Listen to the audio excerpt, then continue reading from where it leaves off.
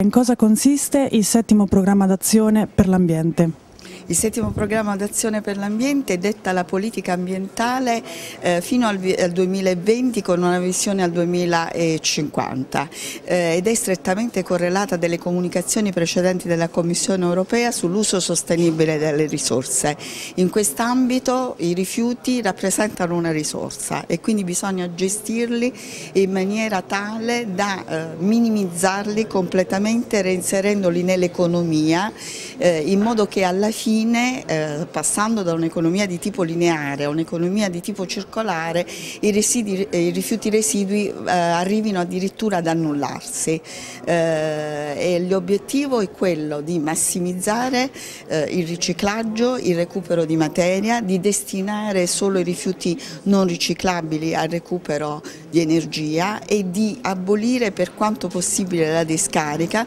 che dovrà essere destinata ai soli rifiuti residui.